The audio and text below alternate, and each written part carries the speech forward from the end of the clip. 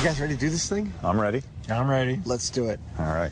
It's time to go big scale. And with Jamie's pickup pulling a massive conveyor belt in one direction, will a manned aircraft going the same speed in the other direction have the lift it needs to get airborne? Mark does his final checks. Uh, light sport, you're clear to take off. Copy that. Jamie's all set. The truck is in gear. I'm good to go. Over. All right, this is full-size airplane on a conveyor belt. For real this time. Thousands of people wait in anticipation. And Adam gives the thumbs up. Go, Jamie, go. Mark and Jamie accelerate in opposite directions. And it's arguably the most incredible sight since the Wright brothers got airborne.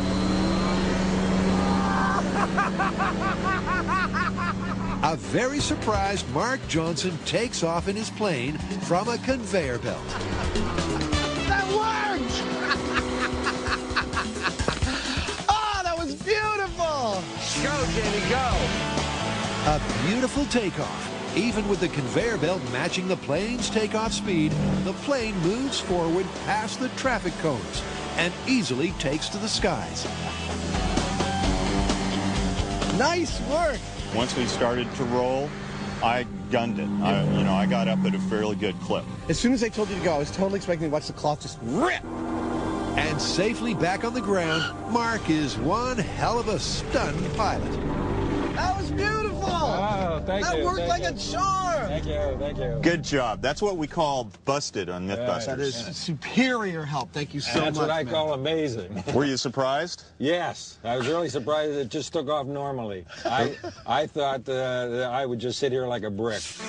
It was beautiful being over there. I'm watching the tarp moving like this, and you just took off like it wasn't even there. You had no relationship to it. That's true, and I'm totally surprised. Awesome. That was, oh, that was so good. Safe flying. Bye. Maybe we can supersize this with a jet next time. This one is so controversial. I can't believe that the very pilot we hired to test it thought that his plane would remain stationary. Yeah, for some reason, people just can't wrap their brains around the fact that the plane's engine is not sending power to the wheels. It sends it to the propeller. Yeah. okay, let's get official about this. How do you want to call it? Well, we put the plane on a conveyor belt, and the plane took off just fine, so I'd say that's busted. busted.